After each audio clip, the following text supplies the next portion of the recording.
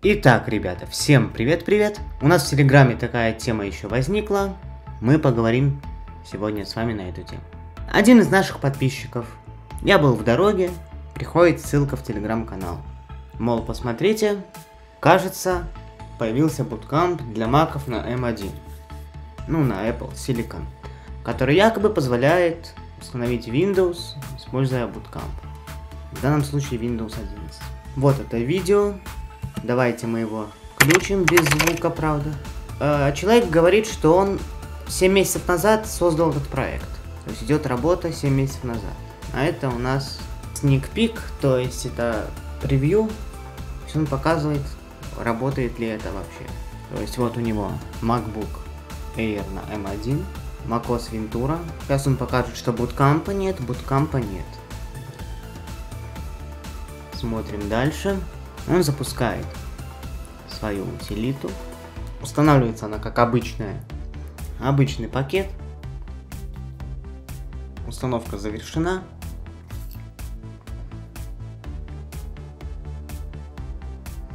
И вот у нас Bootcamp Assistant.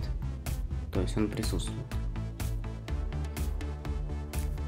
Все, теперь человек перезагружается, зажимает кнопку Touch ID, держит до перехода в меню загрузки. То есть в меню выбора диска. Ну вот у него есть Bootcamp. То есть он показывает, что это реальный Mac, что никакой не обман. Смотрим дальше.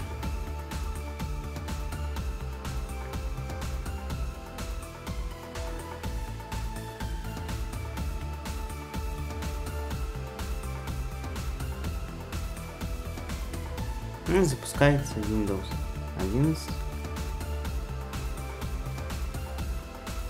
Но драйверов нет в пакете и перестает работать. То есть в теории это возможно.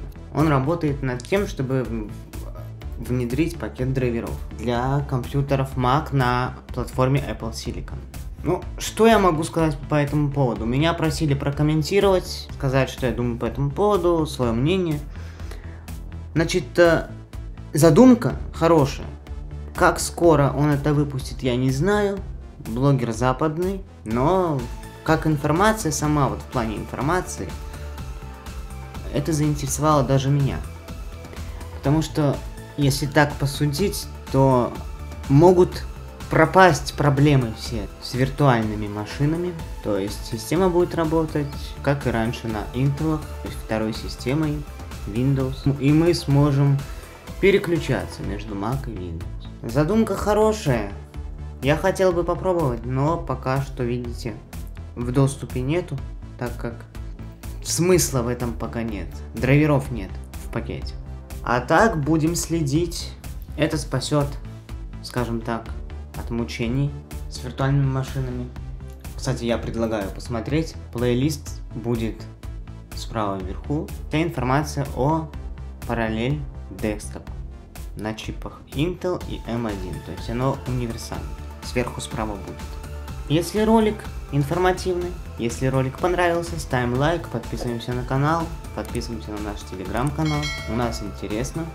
Ну и до встречи в новых роликах. Всем пока. Напишите в комментариях, что вы думаете по этому поводу. До встречи.